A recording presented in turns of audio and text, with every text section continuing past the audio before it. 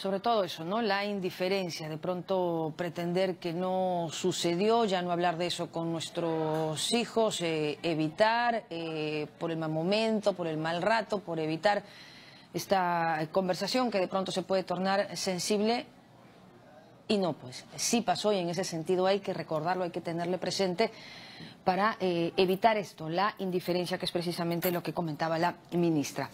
En otras informaciones, a través de su cuenta en Twitter, el expresidente Alan García confirmó que sostendrá un encuentro con el presidente de la República, Pedro Pablo Kuczynski, pactado para el lunes 29 de agosto. Aún se desconoce la agenda en cuestión, sin embargo, esta cita se realizará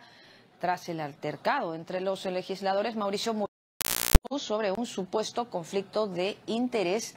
que vincula a la primera dama Nancy Lange con la empresa COSAPI, compañía que conforma el consorcio de la línea 2 del metro. No obstante, la compañía que forma parte del consorcio de esta línea 2 del metro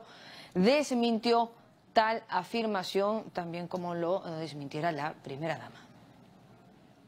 Tengo entendido que esta es una invitación personal que le ha hecho el presidente de la República al expresidente García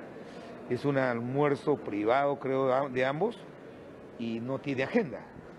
Eh, me alegro que van a eh, me, imagino que van a intercambiar experiencias, pero repito,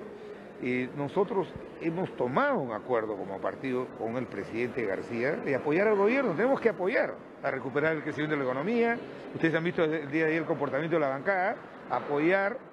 y creo que en esa línea se escribe que el presidente, y me parece muy bien y saludable para la democracia, que el actual presidente de la República convoque a los expresidentes, que intercambie opiniones de la visión